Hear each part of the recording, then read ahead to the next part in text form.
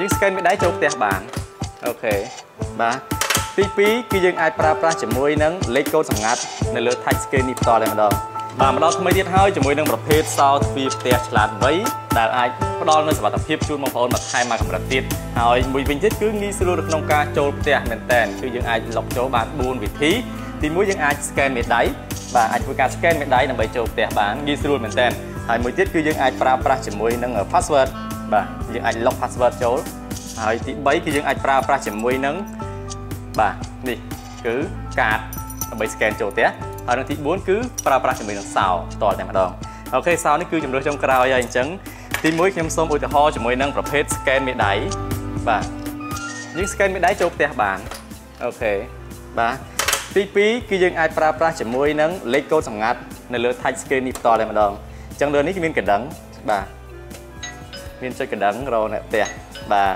អញ្ចឹងយើងបាយលេខកូដមកបាយលេខកូដមកលុកចូលផ្ទះបានអូខេងាយស្រួលមែនតើបាទខ្លាចថាសវឹងទៅផ្លេចលេខកូដបាទទៅកម្មវិធីមកវិញសវឹងផ្លេចលេខកូដយើងអាច scan មេដៃចូលឬមួយក៏អាចប្រើកាតអូខេអញ្ចឹងទី3យើងអាចប្រើប្រាស់ជាមួយនឹងកាតបាទដើម្បីលុកចូលផ្ទះអូខេហើយជំរឿចុងក្រោយនោះគឺប្រើសោបាទអាចប្រើសោ ប្រើសោហ្នឹងជំរឿចុងក្រោយហើយព្រោះអីអានេះវិធីបុរាណយើងប្រើសោហ្នឹងហើយប្រើសោហើយបើប្រើសោឆ្លាតប្រើប្រើទ្វាឆ្លាតវៃហើយអានេះគឺជំរឿចុងក្រោយយើងប្រើណាអូខេអញ្ចឹងទី4គឺប្រើសោហើយមួយវិញទៀតសោរបស់យើងនេះសោឆ្លាតវៃរបស់យើងហ្នឹងអាចបំពាក់ជាមួយនឹងទ្វាឈើទ្វាដែកបាទគ្រប់ប្រភេទបាទប្រភេទទ្វារទាំងអស់គឺយើងអាចបំពាក់បាន ហើយយើងប្រើថ្មបាទមានថ្មសាក អូខេអត់មានរត់ខ្សែញញ៉ៃអីទេបាទមានថ្មអញ្ចឹងថ្មយើងនៅខាងក្រោយនេះយើងអាចប្រើថ្មកូន4សាកថ្មបាទហើយថ្មកាន់បានទុំប្រហែលជា6ខែដែរអញ្ចឹងពេលណាដែលអស់ថ្មក៏វាផ្ដល់សញ្ញាជូនបងប្អូនដែរបាទវានឹងផ្ដល់សញ្ញាជូននៅខាងលើនេះ touch screen នេះវាបញ្ជាក់ថាអស់ថ្មជិតអស់ថ្មអញ្ចឹងយើងផ្លាស់ប្ដូរថ្មចោលទៅហើយមួយវិញទៀតបងប្អូនសួរថាបើសិនជាអត់បានមើលអស់ថ្មធ្វើម៉េចចូលផ្ទះកើតអូខេទី1គឺយើងអាចចូលតាមសោរយៈសោរ ចុះបើអត់បានយកសោរចេញពីផ្ទះបាទយើងពឹងទៅលើ scan មេដៃអស់ថ្មអញ្ចឹងគឺយើងមាន emergency power supply ដើម្បីផ្ដល់ជូនគឺមានរុនដោតភ្លើងមួយនេះបាទបងប្អូនអាចមាន power bank ដាក់ចៃ power bank គេតិចមកដូចមាន power bank តាមខ្លួនយើងអាចដោតសាកថ្មមកបន្តិចមកយើងអាចចូលផ្ទះបានហើយ okay អញ្ចឹងពិសេសមែនតើអញ្ចឹងបែរមើលខាងក្រោយវិញបាទខាងក្រោយនេះគឺយើងមាន lock ក្មេងបាទ lock ក្មេង lock កុំឲ្យក្មេងចេញបាន okay តែមានក្មេងយើង lock ចូលមកអញ្ចឹងកាច់បើកចេញបានទេហើយមួយទៀតនោះគឺយើងមានសោបាទកាច់ខែមកកម្រិតទៀតដើម្បីការពារសុវត្ថិភាពណា okay ចូលទីហើយគឺបើកអត់ទ្វារកើតទេបាទខាងក្រៅមានសិទ្ធបើកបានទេលុកចូលបានហើយបាទអូខេឡូព្យាយាមមានគេស្គាល់ password អីលុកចូលផ្ទះយើងបានអញ្ចឹងយើងខាងក្នុងយើងអាច ចាក់សោមកកម្រិតថែមទៀតបានអូខេអញ្ចឹងយើងបែរមកមើលខាងនេះបាទនេះគឺជាឧបករណ៍ដែលយើងបំពាក់ប្រព័ន្ធសុវត្ថិភាពថែមទៀតទេណាអត់មាននៅឈុតជាមួយនឹងសោនោះទេ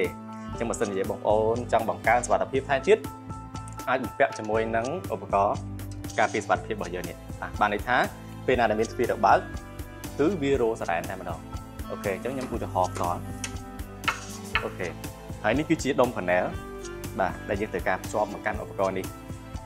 អញ្ចឹង panel នេះយើងអាចភ្ជាប់ជាមួយនឹង32ឧបករណ៍ brand Mark Hikvision Hikvision គឺក្រុមហ៊ុនជាមួយនឹង EasyVis បាទក្រុមហ៊ុនមួយគ្នាបាទអញ្ចឹងបងប្អូនពិតជាបានស្គាល់ហើយបានប្រើប្រាស់ជាមួយនឹង brand Hikvision EasyVis មានកាមេរ៉ាសុវត្ថិភាពខាងក្រោយខ្ញុំនេះបាទគុណភាពគឺខ្ពស់លេខ1ហើយបាទសម្រាប់ពេញពិភពលោកតែម្ដងហើយមានកាមេរ៉ាសុវត្ថិភាពអីផ្សេងៗណាអូខេអញ្ចឹងឧទាហរណ៍បើសិនជាយើងចង់ចូលផ្ទះសារ៉ែនរ៉ូ យើងអាចមាន tele មួយបាទ tele នេះគឺអាចកំណត់សិទ្ធសម្រាប់ម្ចាស់ផ្ទះចេញចូលអត់លឺសារ៉ែនទេអញ្ចឹងពេលណាដែលយើងចេញក្រៅផ្ទះឆ្ងាយយើងអាចបើកមុខងារនឹងមកបាទ away arm okay អញ្ចឹងឧទាហរណ៍យើង lock ចូលផ្ទះតាមរយៈសោអឺតាមរយៈកាតបាទសំទោសបាទអញ្ចឹងតែកាលណាទ្វារបើក alarm នឹងរោពេញហ្នឹង okay ហើយរោហ្នឹង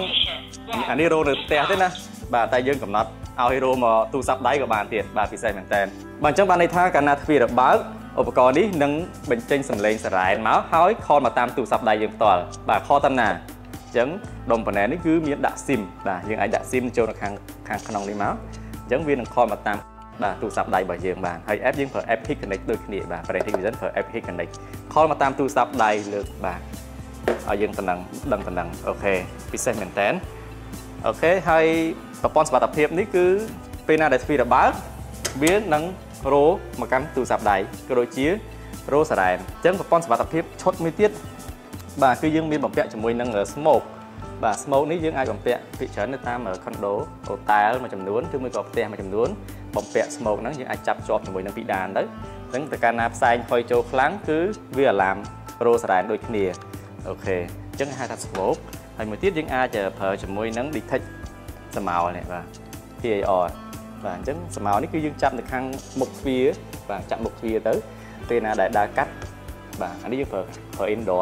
បាទដាក់ខាងក្នុងផ្ទះហើយក៏មានប្រភេទ outdoor ដែរដាក់ខាងក្រៅផ្ទះក៏បានដែរអញ្ចឹងអានេះយើងប្រើ indoor អញ្ចឹងចាប់ដាក់មុខទ្វារទៅបាទខាងក្នុងក៏បានខាងក្រៅទៅមិនកុំឲ្យថ្ងៃចូលខ្លាំងបាទ detect ដែរ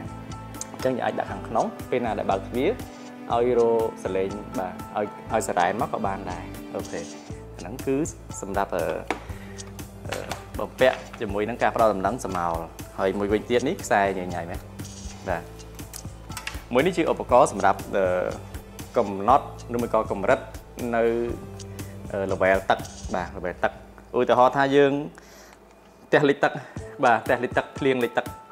ចឹងយើងអាចបំពាក់នៅចំណុចណាមួយដែលគិតថាអូផ្ទះទឹកចូលហើយអញ្ចឹងនៅពេលដែលដល់ចំណុចហ្នឹងគឺវានឹងរោមកទៅស័ព្ទដៃបាទនឹងខលមកតាមទូរស័ព្ទដៃហើយសារ៉ែនរោដូចគ្នាបាទនេះពិសេសមែនតើសម្រាប់បងប្អូនតែលិចទឹកឬមួយក៏យើងអាចដាក់បំពាក់នៅជាមួយអាងទឹកក៏បានដែរបាទបើកទឹកចោលកំណត់ណាកំណត់ណាមួយដែលយើងចង់បិទវានឹងសារ៉ែនអូខេអញ្ចឹងនេះគឺជាឈុតសម្រាប់ការពារបន្ថែមពីលើទ្វារសុវត្ថិភាពរបស់យើង បងប្អូនអាចថ្លឹងថ្លែងមើលបាទមានតម្រូវការអាចថែមឈុតនឹងក៏បានដែរហើយអញ្ចឹងបើសិនជាមានតម្រូវការត្រឹមតែទ្វារសុវត្ថិភាពទេ បាទយើងអាចបាទសួរនាំបន្ថែមអំពីទ្វារអូខេចឹងបើសិនបងប្អូនមានតម្រូវការចាំឆាតចូលមកក្រុមការងារយើងសាកសួរនាំបន្ថែមទៀតពាក់ព័ន្ធជាមួយនឹងតម្លៃហើយនឹងការដំឡើងជូនបាទសូមអរគុណ